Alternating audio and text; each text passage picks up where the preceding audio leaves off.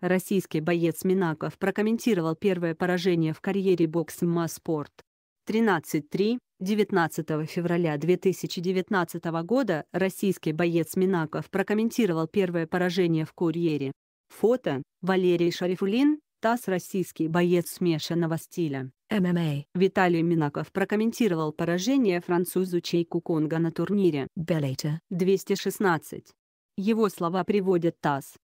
34-летний Минаков рассказал, что был госпитализирован и покинул больницу только за пять дней до выступления. У бойца диагностировали флегмону гнойное воспаление в икроножной мышце. Во время тренировки у него поднялась температура до 41 градуса. Бойцу был назначен курс антибиотиков. Несмотря на состояние здоровья, Минаков не стал отказываться от боя. Понимал, что бороться получится, а вот на лапах до боя работал три раунда по пять минут. Считал, что в стойке меня хватит на 15 минут, но, к сожалению, этого не произошло, заключил Минаков. 17 февраля россиянин потерпел первое поражение в карьере, уступив Конго единогласным решением судей. Француз, благодаря победе над Минаковым, стал претендентом на титул чемпиона Bellator. в тяжелом весе.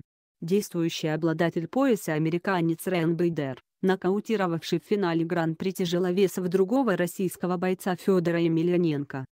Минаков четырежды становился чемпионом мира по самбо. В. MMA. Россиянин одержал 21 победу и потерпел одно поражение. Что происходит в России и в мире? Объясняем на нашем YouTube. канале. Подпишись.